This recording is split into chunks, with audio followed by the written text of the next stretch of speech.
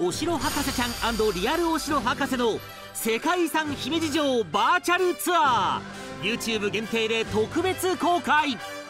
以前博士ちゃんニュースでご紹介したお城博士ちゃんの栗原響くんが講師を務める姫路城のバーチャルツアーが開催されたそうです。一緒に講師を務めたのは響くんがずっと憧れていたお城のリアル博士、うん、城郭研究家の千田先生です、ね、ということでツアー直前の響くんにインタビューしました、はい、いや本当いや緊張しますね千田先生なんですよ。響くにとってどういう人ですか？いやもう憧れの人ですね。そうなんあの僕も将来城郭研究家というお仕事に就きたいので、すげえ。そのためのそうですね。め目指してる人ですね。確かにいつもと様子が違う。いつもと堂々としてるもんな。芸人に置き換えると誰ぐらいすごいことあります？なるほど。うんとなんだろう。さんまさん？さんまさんとか。じゃあそれはもうかなわない。それくらいいっちゃいますね。そうなんだ。だからお城怪獣お城怪獣緊張しますね。リスペクトがすごいね。すごいね。大丈夫憧れの人だじゃん、こんな低見たことない。すごいなこんなになるんだ。へえいや緊張緊張しますね。へえほら珍しいこんななる？全然違うなスタジオと。どうも千田です。よろしくお願いします。いつもね、あの高橋ちゃんで拝見してます。ありがとうございます、いや目の前にいるのは。いやいやなんかテレビでね拝見してすごいよね。してくれてんの。嬉しいね。おじさんね中学一年生からお城好きになったんですけど、もうね圧倒的に早くからねお城の研究をしてるから確かにすごいね研究者になれると思いますよ。いやもうこのまま死んでもまだちょっと早いよね。打ち合わせの時点ですでに緊張しまくりの響くん。ツアーガイドを務める本番はどうなってしまうのか？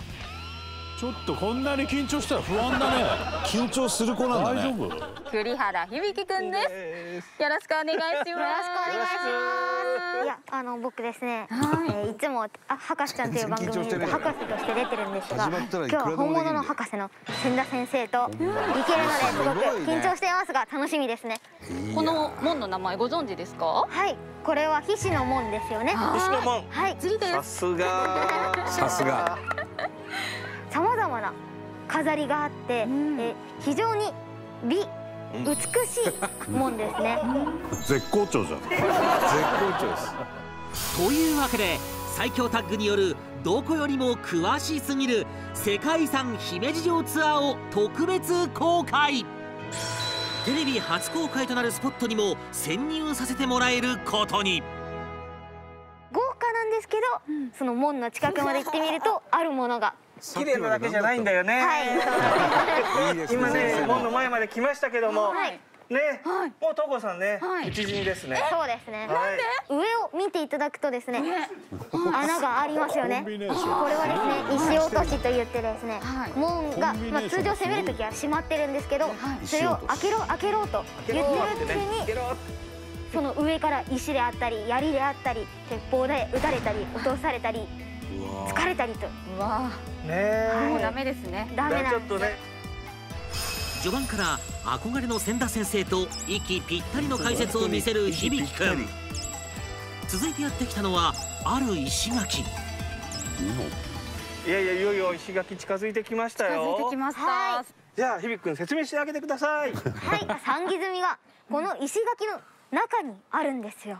三木積みというのはですね食宝体の石の短辺と長辺を重ね合わせて作ったもので普通角にあるものなんですよ、そうですよね。はい。その三木積みがですね、ここここにあるんですよね。見えますか？あるねあるね。はい。あの長い短い長い短い長い短いってね交互にね、石の長辺と短辺を重ねてるっていう石垣のちょうど角だよっていうのの痕跡がね、見えますよね。すごくわかりやすいですねここ、ということはですね、ここが角だったんですよ。右側の方はもともとあってこっち後でね足したのね。そうなんですよ。そんなことまでわかるんです。はい一回来た方でももう一回また違う見方で見ていただいいですよね。いいこと言うよ。お城漫才みたいになってる。君ね、この石垣もすごいけどなんかこっちにもすごいもんあるよね。はい、さっきまで石垣しかないと思ってたと思ってましたが門が現れました。これはですね、渦見門と言って石垣の穴を石垣の中に門を築いたんですよ。周りね全部ねこれ、はい、石だもんね。これね。石の中にある門のことを言うんですよなるほどね、はい、先生優しいね。ああなるほどねって先生がやってる。フォローに回って、ね、ありがたいね。じゃあじゃあじゃあ行きましょう行きましょう。ちょっと気になる石がちょっと私あるんですけど、はい、これはですね天陽石といって本来ならば石垣に使われることのない寺などで使われる石なんですが、えー、お寺や神社などの魔力のあるものを守る力のあるものの石を使うことによってそのお城が攻められないようにとか火事に遭わないようにというふうな願いも込められていますね。な。るほど、よく見ると、これなんかね分かりやすいんですけど、これねいろんなところにねあるんですよ、ね、あるんですよ。あれもあれもですよ。ね。皆さん最近大河ドラマをご覧になったりしてる方おられるかもしれないんですけども、ね信長が二条城を作って、あの石仏をね引き倒して石垣に使おうと思ったら明智光秀がすごく嫌な顔しててなんでひどいことするんだっていうねことね雰囲気だったんですけど、はい、光秀もねいっぱい墓石とか使ってますしね。そうなんですよね。そうなんですよ。階段の方行きましょうか。はい、登ってみましょう。さあここにも気になるところが。全然進まねえ すごいね。なかなか階段登れないですね。こちらにこちらにもこちらにも、ね、なんかあるよ。マークが書いてあるのがわかります。これはですね、刻印石と言って、その石を運んだ集団などが、えー、自分の石だよ、自分の、えー、手柄だよっていうのをわかりやすくするためこういうマークをつけたんですよ。なるほど。ね、様が見えてきましたね。様。本当ですね。様が。ここにも。はい。これヘリ君、これちょっとなんか様が他と違うよね、これ。あ、そうですね。そうですね。あの締めてありますよね。蓋ついてるね。はい、蓋がついてますね。一般的な様だとこういう風な蓋がついていなくて、え外から狙い撃ちできるように外からも中を狙い撃てるように。穴が開いてるもんね、だからそれ以外の時は閉めていられる。さすがですか、さあ先進んでいきましょう、行きましょう。この石にも特徴があります。一般的にはねこういう門の前に石を使うっていうのははい。くなんて言うんでしたっけ？はい。これはですね鏡石というふうに言います。鏡石。はい、え門の前に大きな石を置くことによって、敵が攻めてきた時に、えこの範囲この城はこの城の主君はこんなに大きい石を運べるのかというふうな感じで、そのその人の権力を表す見せつけられるということなんですね。なるほど。バーチャルツアー5時間ぐらいかかるんじゃないですか？ではいよいよ今回のメインでございます。本邦初公開となります。布門櫓1階部分そしてリノに渡り櫓に事前調査のため今回特別に入らせていただきます。今日入りますからねこれから。い。よいよ今年2月から公開となった櫓の中へ特別潜入。いやすごい。しますじゃあ入っちゃいます。入っちゃいますよ。入っちゃいますよ入っちゃいますよ。ここから今日はね特別に窓を開けていただいてるんで外が見えます いいテンション。あちらにも窓があってですね、うん、えー、二方向の敵をほうほう、えー、一掃するためのものになっています。なるほど、はい、さあフリップ用意していただきました。が、えー、現在ですね私たちは。すごいな。もう何でもできんな。ここの櫓にいますはい。やばいぞこれ。おじさん持つ。はい。ここの櫓にいます。うん。北方向から攻められたとしても一気にここで敵を片付けるような。なるほど。日々君これね明快な説明ですよね。素晴らしいですね。どうしたらこんなことができるんですかね。本当にそう。非常に重要な役割を担っていたこの場所ですけれども、うん、こういうところを守る。はい。ちょっと回線が止まってるみたいで。あ、あら。はい。こういうトラブルどうする？いい写真が撮れますよあなるほどね。夕日と櫓が。めちゃめちゃいいめちゃくちゃいいね。はい。真似するわ。ここから撮ったら。本当素晴らしいですねビッくんね。あの説明が非常に明快ですよね。ねこんなこんな人に私もなりたいというふうに思いました。以上現場から報告いたしました。どうもですじ君どうですか？いやいや僕が千田先生目指す側なのにそんなことを千田先生から言っていただけると、ね、何回も言っていますが本当に嬉しいですね。あの非常にユーモアな方で 話していて楽しいですね。すごいですね。中継止まってても我々楽しいですね。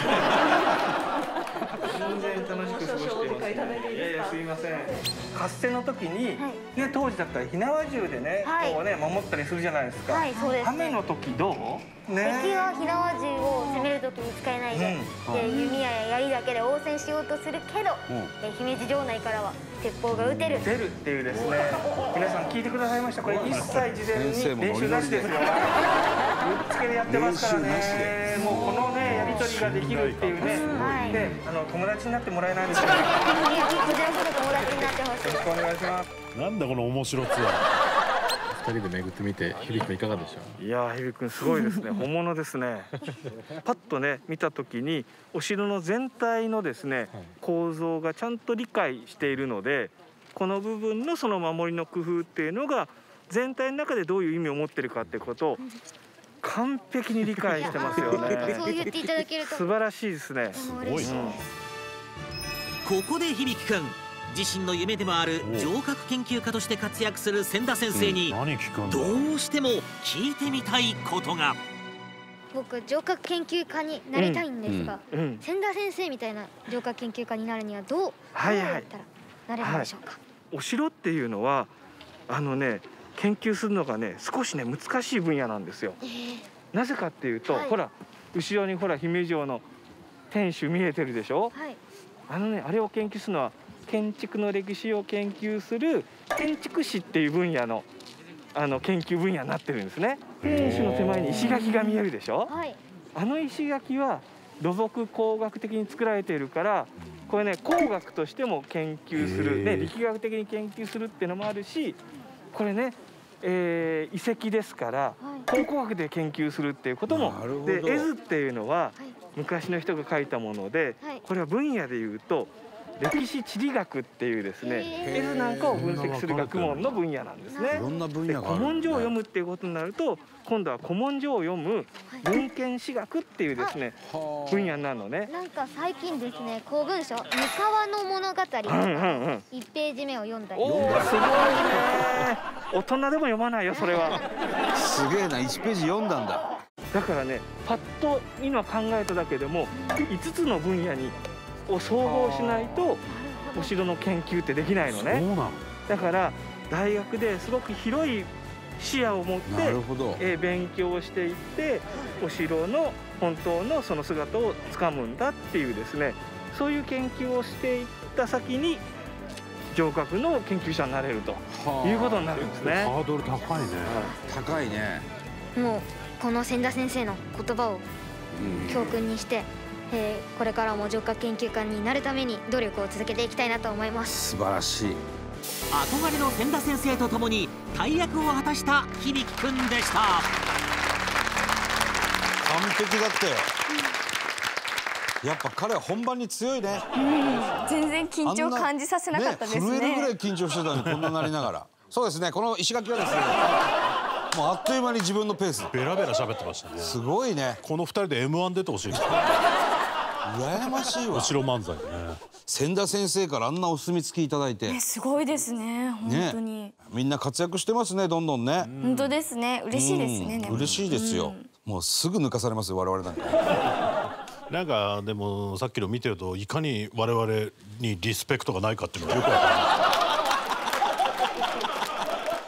るでもあんな顔が見れるのは嬉しいですね。そうだね